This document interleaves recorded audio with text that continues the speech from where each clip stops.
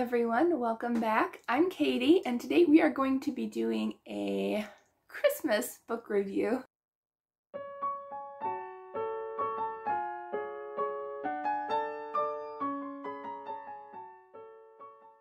So a little bit of a disclaimer before we get started. I normally don't read any Christmas books until after Thanksgiving, usually not even until December. So I was hesitant to ask for this book for review from Baker Publishing. So thank you, Baker Publishing, for sending me this book. But I was only hesitant for that reason because I knew I didn't want to read a book that came out like in September or October, and I didn't want to wait until December to read it because I like to get my reviews out as soon as I can. But I know I love Melody Carlson's books. Her books are so awesome. I love her Christmas books. They're always heartwarming and there's usually a little bit of humor and charm and kind of a small town feeling to them all. So I read A Quilt for Christmas this week by Melody Carlson and the cover number one is gorgeous and they're always really short. So these would take you like a day or two to get through. I think it took me three days, but I was reading a bunch of other books. But super short and such a sweet book. This one actually might be my favorite book by Melody Carlson. And last year, what was it last year? Last year it was The Christmas Joyride. So if you haven't read that one, that one's good too.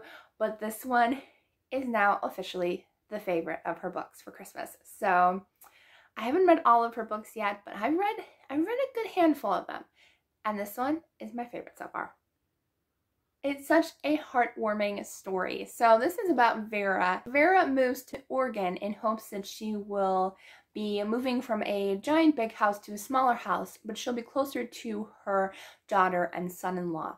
But as she's moving there, or I think or I think like right after she moves there, her daughter and son-in-law end up moving to California because he got transferred over there with his job.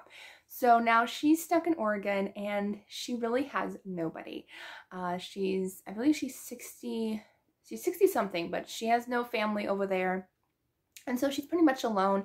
She's been there for almost a year and she knows none of the neighbors in her apartment complex. She knows nobody in the area, but she ends up uh, finding a little girl named Fiona on her doorstep. And Fiona is very scared and very frightened because her mom says she has stomach pains. So Vera goes across the hall to their apartment and that's where they find out that her mother is is very seriously sick and so Vera takes her and her mom to the hospital and so she leaves her number at the hospital and says you know while she's being taken care of your daughter Fiona will be with me and I'll take care of her. And there's also two other children, which are in school. She ends up taking care of them too while the mother is getting better. So it's all about her finding this family and finding out their situation, how they got to Oregon. And I just, I love the story. It's so sweet.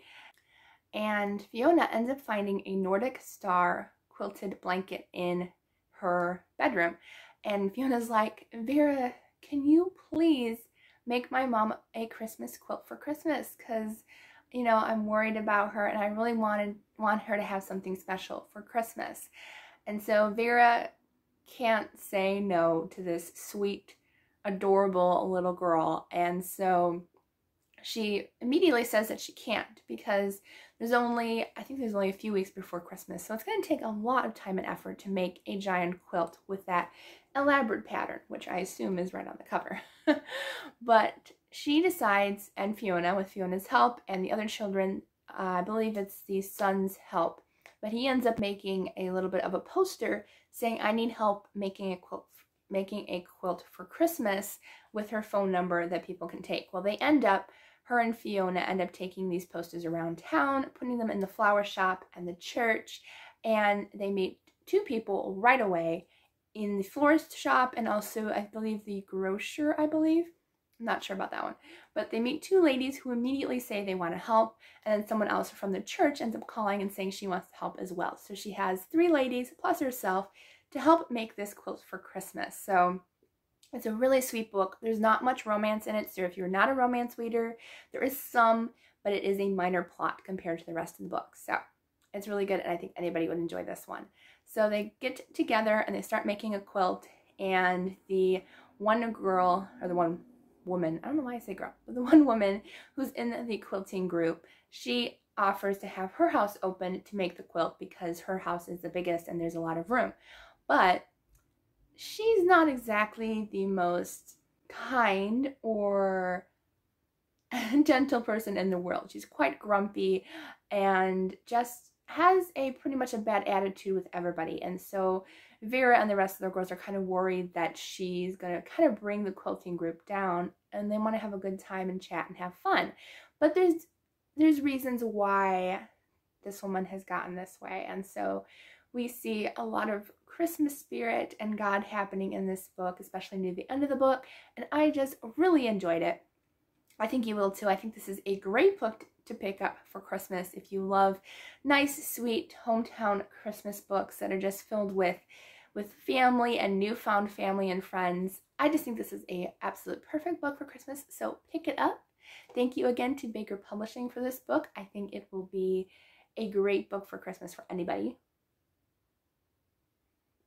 And with a good cup of tea right when you're reading this as well.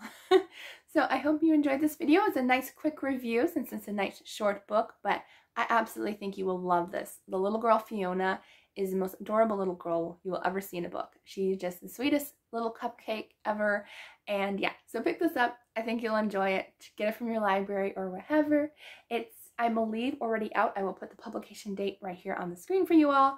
But yes, so hurry up and get a copy of this because I don't think you'll be disappointed. It's such a sweet book, and I nearly cried at the end. It was such a sweet ending. So I absolutely loved it. So that was my review for today. I think anybody who picks this up is absolutely going to love it. It's so good, and I think you're all going to like it. So I hope you all have a wonderful day, and I will see you all in the next video.